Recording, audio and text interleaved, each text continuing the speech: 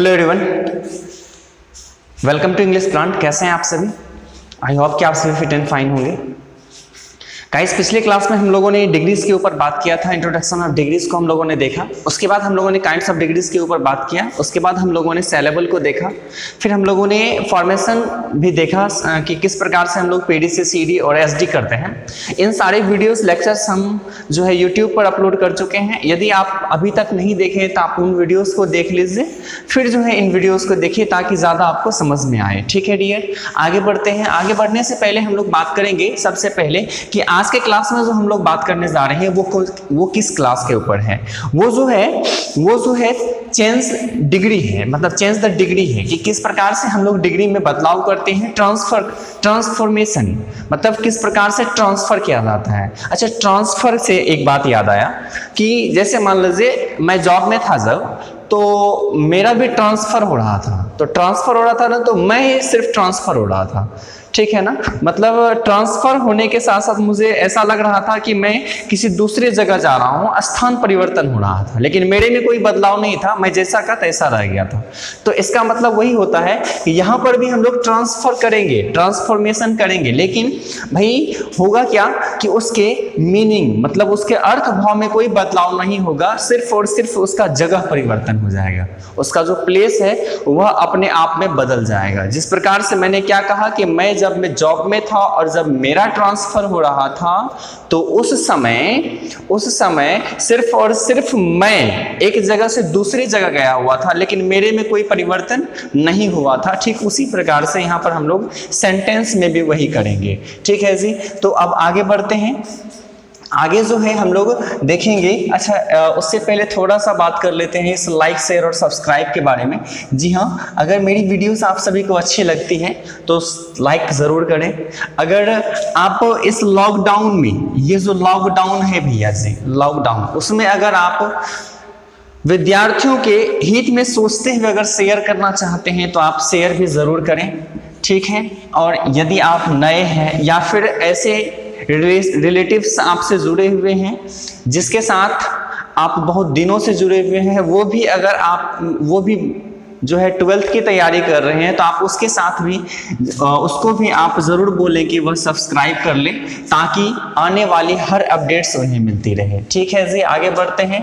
और अगर आप हमसे जुड़े रहना चाहते हैं सोशल मीडिया पर तो आप हमें फॉलो कर सकते हैं इंस्टाग्राम टेलीग्राम और फेसबुक पेज को। अच्छा इसमें बहुत सारे बच्चे क्या करते हैं ना, मुझे टेलीग्राम पर पर्सनली मैसेज करते हैं और वो कहते हैं कि, सर, हम कैसे ज्वाइन हो? सर, हम कैसे ज्वाइन हो टेलीग्राम चैनल को मतलब टेलीग्राम चैनल पर सर आपसे कैसे जो है ज्वाइन हो जाएँ और जो है हम कैसे पीडीएफ प्राप्त करें? तो मेरे भाई, मुझे पर्सनली मैसेज करने से कुछ नहीं होगा। आपके टेलीग्राम चैनल में ऊपर में सर्च बार रहता है, उस सर्च बार में जाकर के सर्च कीजिए। क्या सर्च करेंगे? English with Babul Sawant sir आपके सामने वो चैनल आ जाएगा। उस चैनल में नीचे में ज्वाइन लिखा होगा जी ज्वाइन कर लीजिए। आपको जो भी पीडीएफ मैं करूँगा उस टेलीग्राम चैनल पे, वो आपको वहाँ पर मिल जाएगा। ठीक है? चलिए इसी तरह से आगे बढ़ते हैं। आगे बात करते हैं हम। आगे बात करते हैं changing the rules of degrees in a sentence आज हम इन्हीं के ऊपर बात करने वाले हैं changing the rules of degrees in a sentence वाक्य में आखिर डिग्री को बदलना है डिग्री जो बदलता है वाक्य में, उसको, उसके जो रूल्स हैं, उनके ऊपर बात करेंगे। तो सबसे पहले मैं यहाँ आपको बता दूँ, ये जो ये जो टाइप है, इस इस टाइप को हमने देखा है कि हमने यहाँ पर जो है चार भागों में रखा है, चार टाइप में इसे बांटा हुआ है। ठीक है जी, चार टाइप में बांटा हुआ है। तो आज हम लोग सबसे पहले टाइप वन पढ़ेंगे टाइप वन पढ़ेंगे टाइप वन में देखेंगे। टाइप वन में भी हमने इसे दो, इसमें दो रूल दिया है और दो रूल में सबसे पहला रूल हम लोग आज कवर करेंगे। टाइप वन का टाइप वन का सबसे पहला रूल देखेंगे। सबसे पहला रूल क्या कहता है? How to change the sentence of positive degree into comparative degree. How to change the sentence of positive degree into comparative degree? मतलब how to change, कैसे बदलें? किसको भाई? The sentence of positive degree positive degree के sentence को किसमें जी? Comparative degree में। ठीक है जी? मतलब पॉजिटिव डिग्री से कंपेरेटिव डिग्री में कैसे बदलें? उसके लिए रूल्स है। और उस रूल्स के कुछ स्टेप्स होते हैं, उस स्टेप्स को फॉलो करते हुए क्या करना है हमें आगे बढ़ना है। तो steps to change the degree in steps से हमें गुजरना होगा और वो स्टेप्स कौन है? ये पाँच स्टेप्स हैं ये पाँच स्टेप्स हैं, जिन स्टेप्स से हमें गुजरना होगा। तो पहले स्टेप्स की बात करते हैं। पहले स्टेप्स में सबसे पहला पॉइंट क्या कहता है? आइडेंटिफाई द सेंटेंस जी हाँ हमें ये पता होना चाहिए, हमें ये पता होना चाहिए कि जिस सेंटेंस की हम बात कर रहे हैं, वो सेंटेंस है किसमें?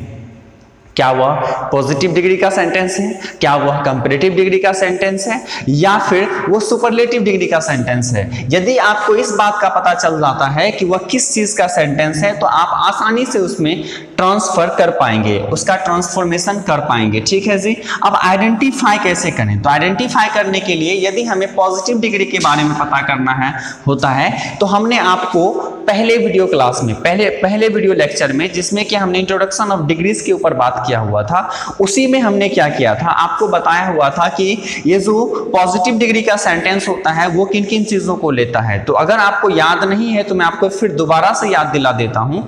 ऐसे सेंटेंस जो होते ऐसे सेंटेंस मतलब पॉजिटिव डिग्री के सेंटेंस वो हमेशा एज एज या सो एज के बीच में रहते हैं। ठीक है याद रखिएगा एज एज के बीच में कोई एडजेक्टिव और या फिर सो एज के बीच में कोई एडजेक्टिव रहता है।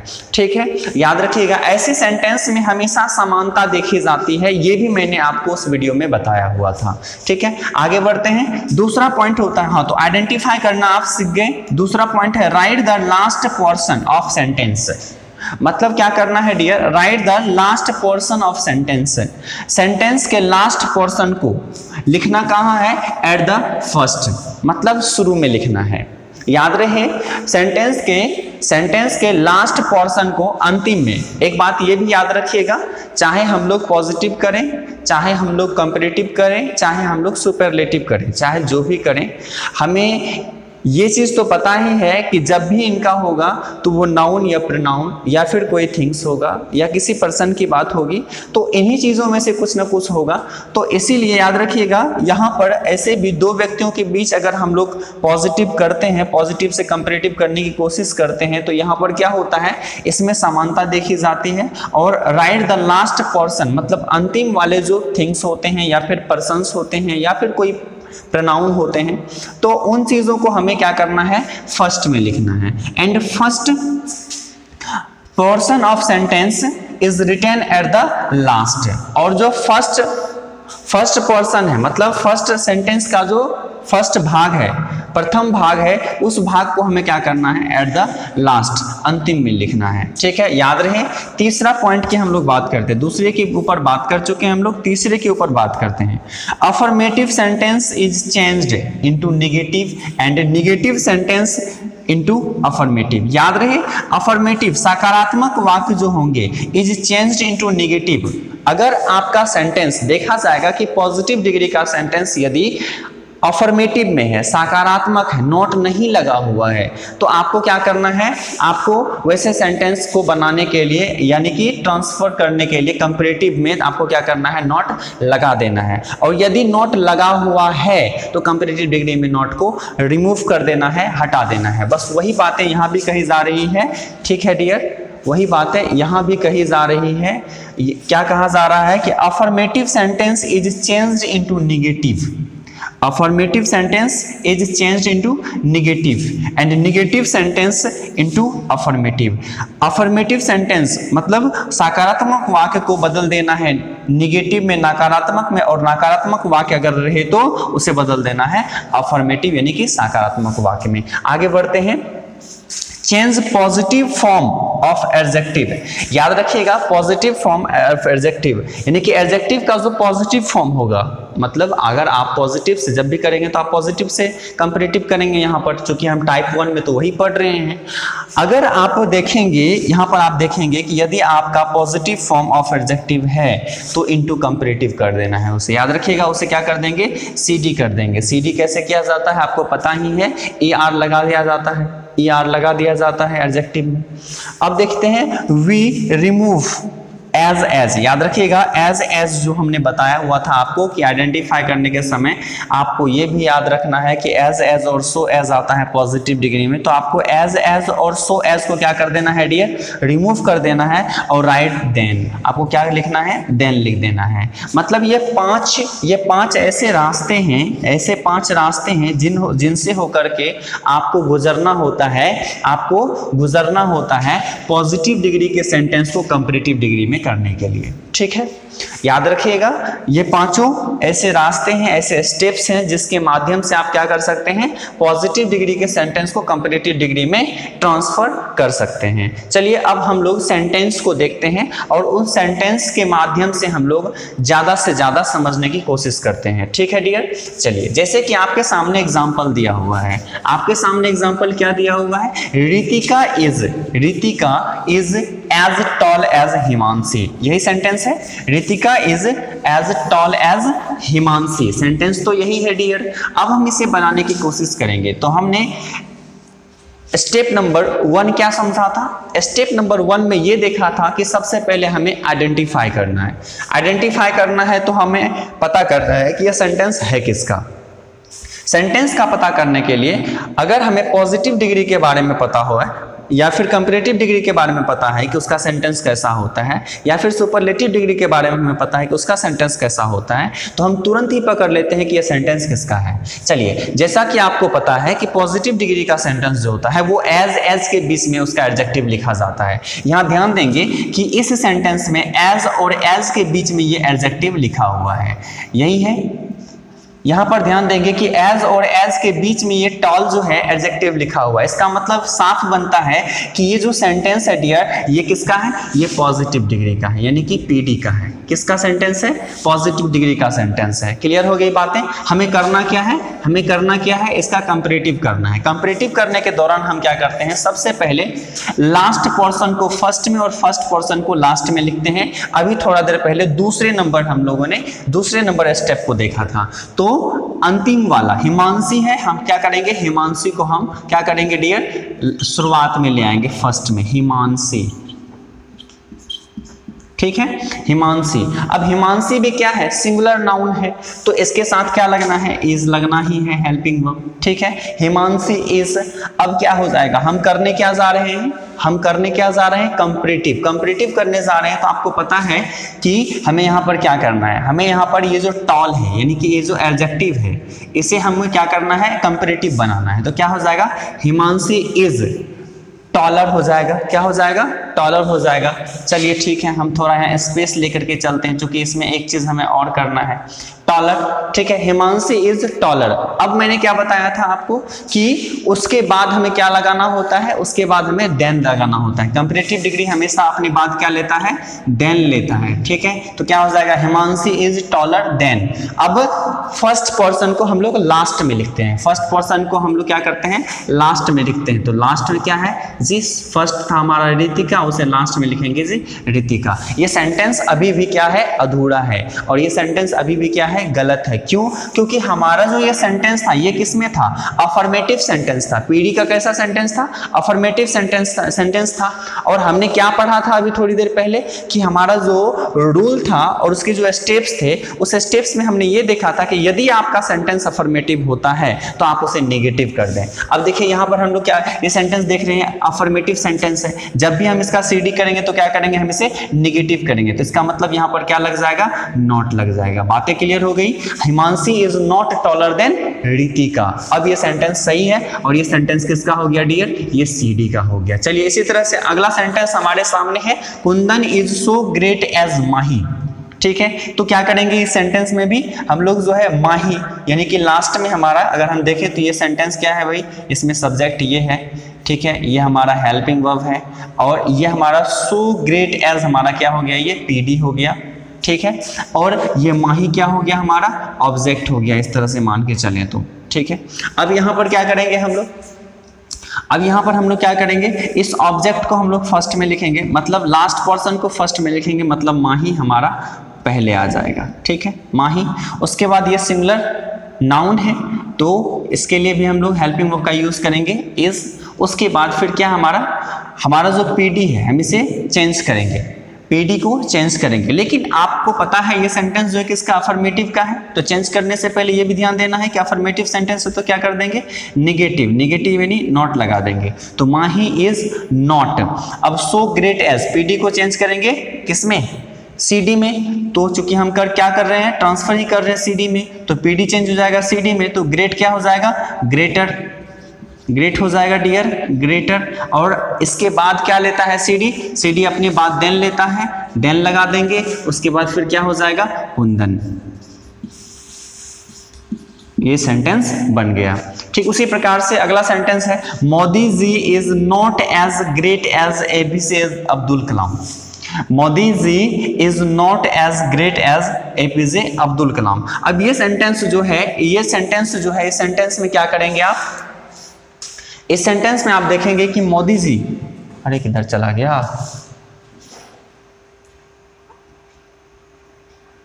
हम्म।